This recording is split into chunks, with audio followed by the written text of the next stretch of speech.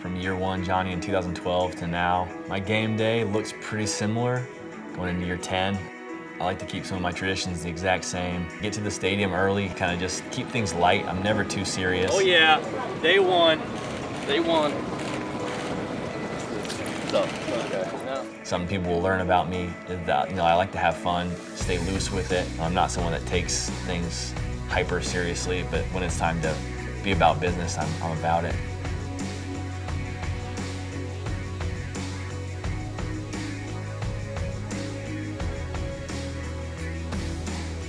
Get to the field, get my stretches in, and then just kind of build my progression from there. Get some ball catches and molds, make sure my hands are working well, to drops, to taps, to angular kicks, and then opening it up to the returners. So it's like a steady progression of building the whole punt mechanics piece by piece. That's really helped me stay consistent.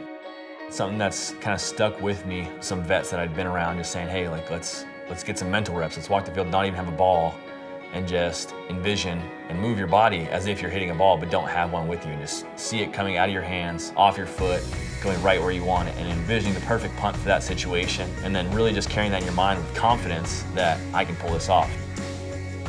When we get done warming up every game day, we come into the locker room and I call my parents and we have a prayer. So that's been something that's been a great tradition of mine in the college as well, calling my parents and praying over me. So my dad always prays for his calm nerves and a smooth operation. And that's something that, you know, on game day, I think that on the sideline, calm nerves, smooth operation.